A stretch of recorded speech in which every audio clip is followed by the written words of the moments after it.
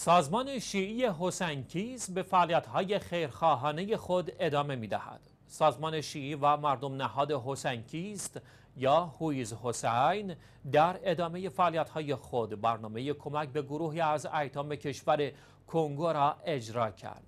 اعضای این سازمان مردم نهاد در اقدامی بشردوستانه با حضور در میان جمعی از ایتام کینشاسا واقع در منطقه کینکولا در جمهوری دموکراتیک کنگو به توزیع غذا و اهدای کیف، کفش و لوازم تحریر در میان آنان اقدام کردند.